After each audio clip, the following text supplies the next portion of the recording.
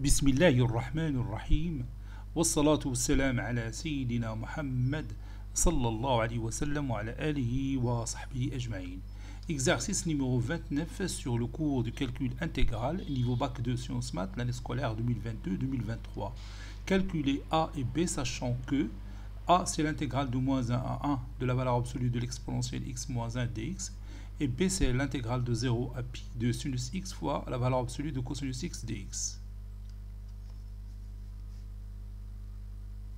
Réponse.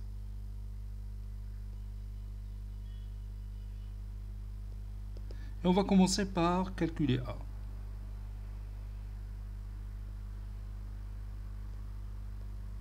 Calculons A avec, si vous voulez,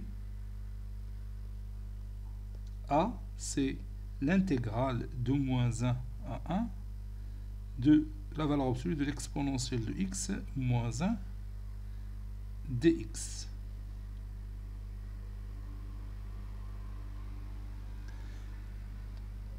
Donc pour calculer cette intégrale, on doit étudier le signe de l'exponentielle de x moins 1 pour se débarrasser de la valeur absolue. Donc étudions le signe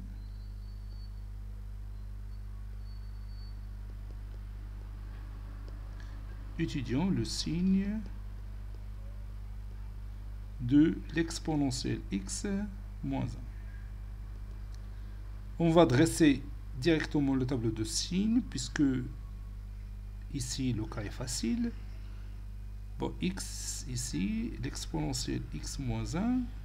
On travaille sur l'intervalle moins 1, 1 L'exponentielle de x moins 1 s'annule pour x est égal à 0, parce que l'exponentielle de 0 c'est 1, 1 moins 1 c'est 0. L'exponentielle de x moins 1 est positif lorsque l'exponentielle de lorsque x supérieur à 0.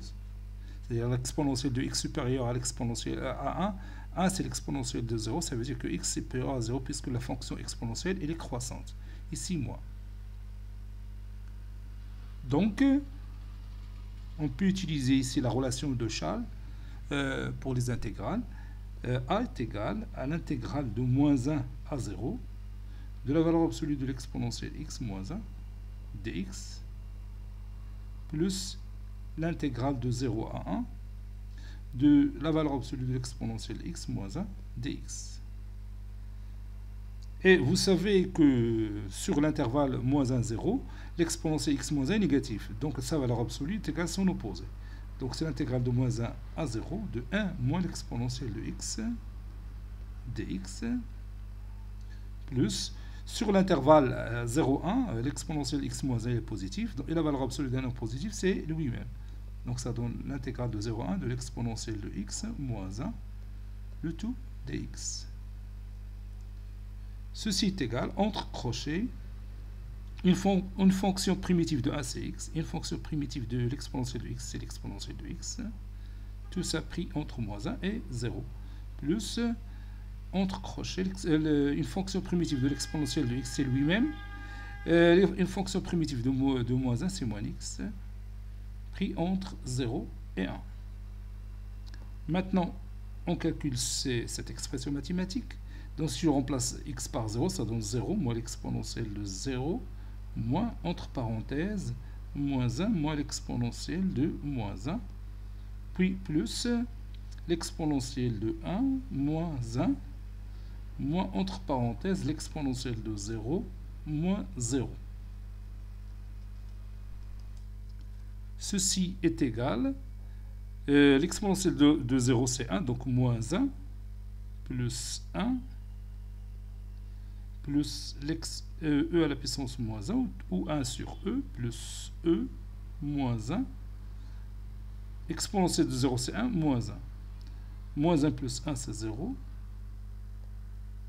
Donc ça donne e plus e à la puissance moins 1, moins 2.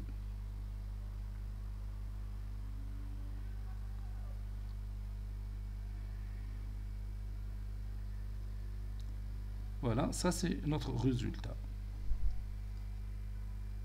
Bon, si on calcule e plus e à la puissance moins 1 moins 2, ça donne à peu près 1,08.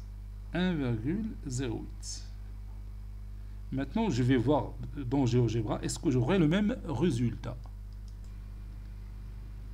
Comme euh, vous voyez, j'ai demandé l'intégrale de moins 1, 1 de, de, la valeur absolue d'exponentielle x moins 1 dx. Il m'a donné 1,09. Nous, nous avons trouvé à peu près 1,08. Donc, c'est presque le même résultat.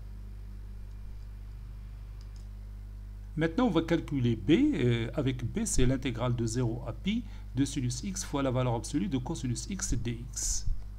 Bon, on a, je vais étudier le signe de cosinus x sur l'intervalle 0 pi. Donc, je dresse directement le tableau. Ici, vous avez x, ici cosinus x. On travaille sur l'intervalle 0 pi. Ici, c'est pi sur 2. Cosinus de pi sur 2, c'est 0.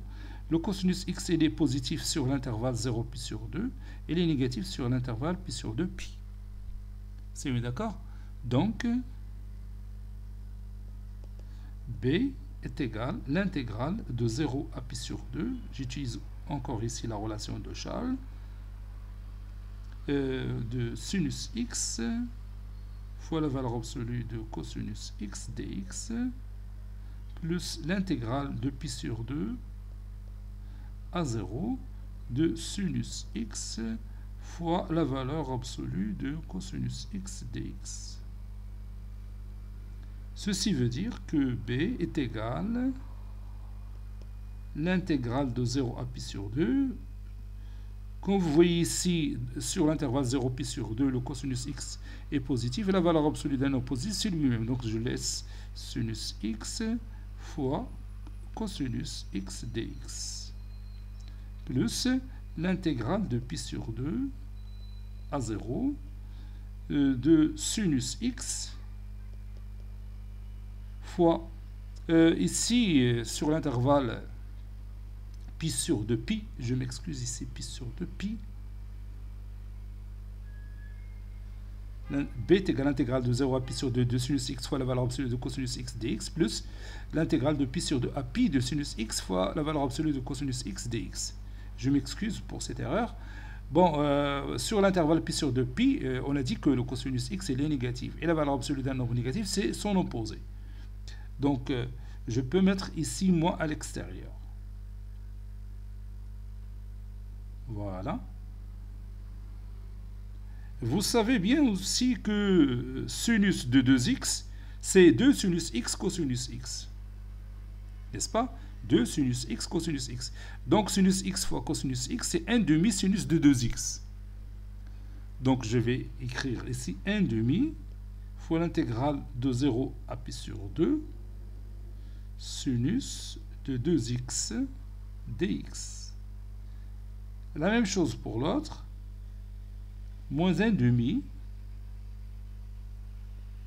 fois l'intégrale de pi sur 2 à pi, diamètre certain dire 0, sur 2 à pi de euh, sinus de 2x.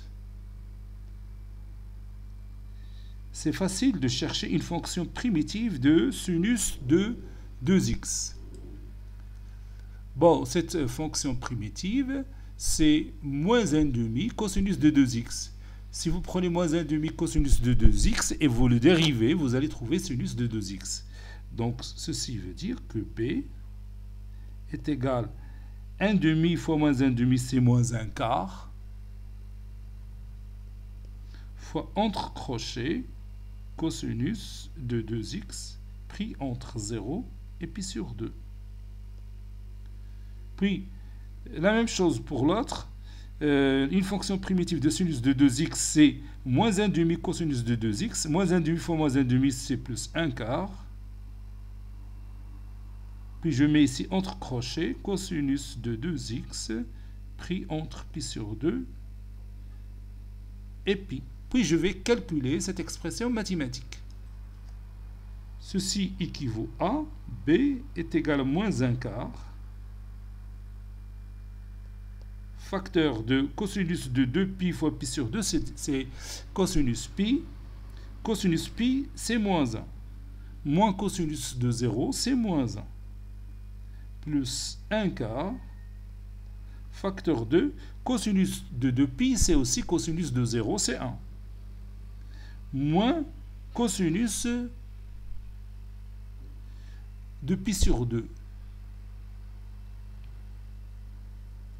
2 fois pi sur 2, c'est, oui, cosinus de 2 fois pi sur 2, c'est cosinus pi. Cosinus pi, c'est moins 1. Donc, moins moins 1, c'est plus 1. Ceci veut dire que B est égal à moins 1 quart fois moins 2, c'est 2 sur 4, c'est 1 demi. 1 moins moins 1, c'est 2. 2 fois 1 quart, c'est 1 demi. Et 1 demi plus 1 demi, c'est 1. Donc on a trouvé B est égal à 1. Donc on va voir si on aura le même résultat dans GeoGebra. Comme vous voyez ici, j'ai pris l'intégrale de 0 à pi euh, de sinus x fois la valeur absolue de cosinus x dx. Il m'a donné 1. Ça y est, on est d'accord? Alors, les deux parties, les séparées là. La première partie entre 0 et pi sur 2, puis entre pi sur 2 et pi. Voilà. On a la même surface. 1 demi, 1 demi. 1 demi plus 1 demi, c'est 1. Cet exercice est terminé. Il a été préparé par le professeur de Latif du collège Bourz Marrakech. A très bientôt.